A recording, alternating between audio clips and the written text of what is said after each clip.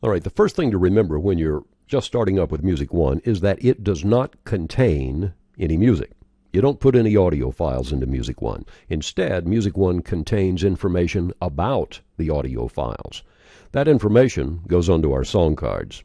There are quite a few fields on the song cards, but the four basics, the four requirements are title, artist, length, and the cart field.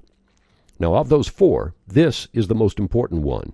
What you have here is what goes into the playlist that Music One makes for your playout system, so the playout system can find and play that track.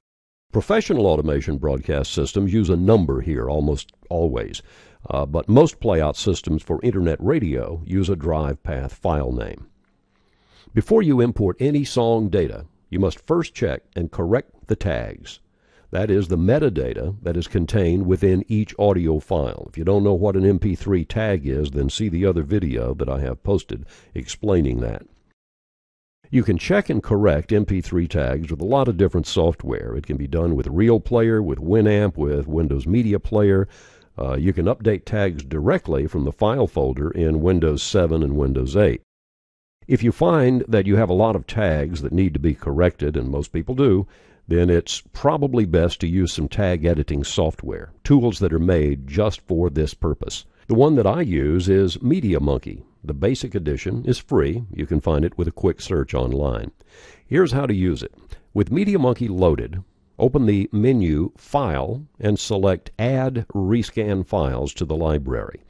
Be careful here so you get it to scan only the folders that contain the audio files that you're going to use on your radio station. Otherwise, you'll get every piece of audio on your computer, including all the Windows sounds and all the sounds that may be installed by other software.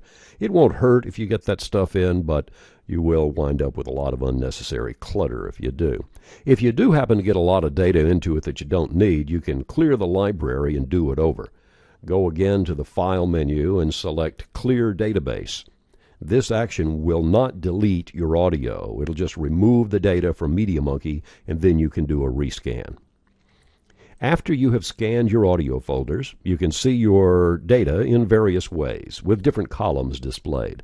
Put your pointer in the header here, and do a right click, and when you select one of the fields or deselect one of the fields, that data field is either added or removed from your view.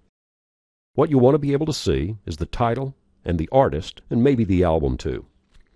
When you see something that needs to be corrected, click on that line, pause a second, and then click on the field that you want to edit. If you click two times quickly, MediaMonkey will launch and begin playing that file. So to edit, you want to click once to select the line, pause for a second, and then click on that field that you want to edit. Scroll up and down the list to spot things that need updating. If you click on the title heading, all the files that have missing title tags will come to the top of the list. You can do the same with artist. Every file must have a title tag or else it cannot be imported into Music One. Things that are not songs do not have to have an artist. So jingles and voice tracks and station promos, those just need to have title. The artist field can be left empty. The same thing with long form programs. Those things uh, do not have to have anything in the artist field. After you have your tags in good shape, then you can import your library data into Music One.